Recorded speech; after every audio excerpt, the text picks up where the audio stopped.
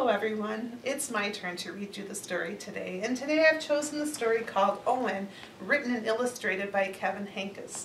It's kind of a special story for me because Owen, the character in the story, has a yellow blanket that his parents are trying to figure out how in the world are we going to get him to give up this yellow blanket before starting school.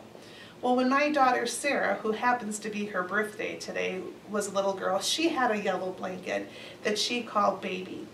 And Baby went everywhere with her, and Baby even had a life of her own. She would talk to us, and Sarah would take her wherever she went. So I hope you enjoyed this story as much as I do. Owen by Kevin Henkes. Owen, written and illustrated by Kevin Henkes. Dedicated to Laura. Owen had a fuzzy yellow blanket. He had it since he was a baby. He loved it with all of his heart. Fuzzy goes where I go, said Owen, and Fuzzy did. Upstairs, downstairs, in between, inside, outside, upside down. Fuzzy likes what I like, said Owen, and Fuzzy did. Orange juice, grape juice, chocolate milk, ice cream, peanut butter, applesauce cake. Isn't he getting a little old to be carrying that thing around? asked Mrs. Tweezers. Haven't you heard of the blanket fairy? Owen's parents had it. Mrs. Tweezers filled him in. That night, Owen's parents told Owen to put Fuzzy under his pillow. In the morning, Fuzzy would be gone, but the blanket fairy would leave an absolutely wonderful, positively perfect, especially terrific big boy gift in its place. Owen stuffed Fuzzy inside his pajama pants and he went to sleep. No, blanket fairy, said Owen in the morning. No kidding, said Owen's mother. No wonder, said Owen's father. Fuzzy's dirty, said Owen's mother.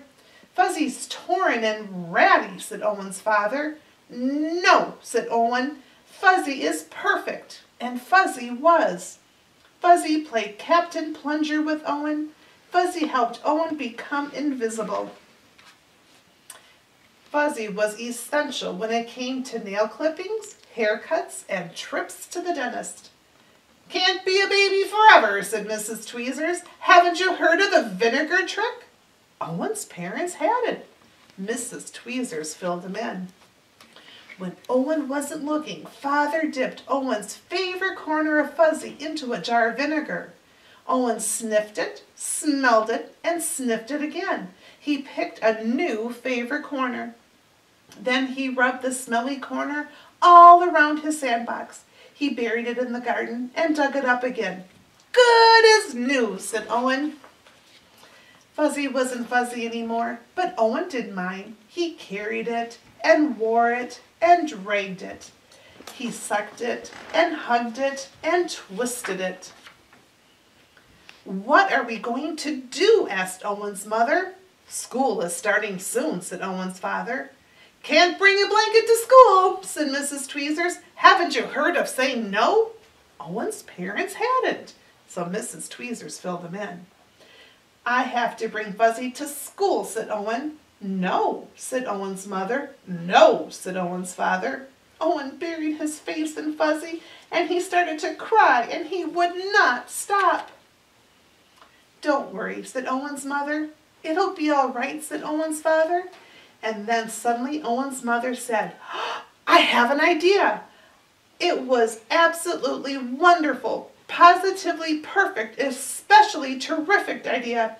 First she snipped and then she sewed. Then she snipped again and sewed some more.